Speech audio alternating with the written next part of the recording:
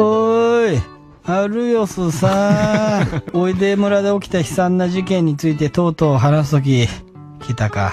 あれは1ヶ月前、シャンパンのコルクを口で止めたら牛100頭もらえる大会が開催された時のことだ。大会に参加した奴が全員失敗して、コルクが喉貫通したんだ。実はそれ、暗殺用のシャンパンで、村長が用意したもんだったんだ。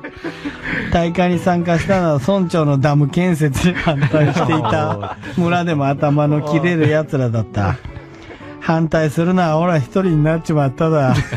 そして今日、村長からディナーの誘いの手紙が来た。心臓が止まるほど美味しいワイン用意してくれてるらしい。心臓が止まるほら決めた。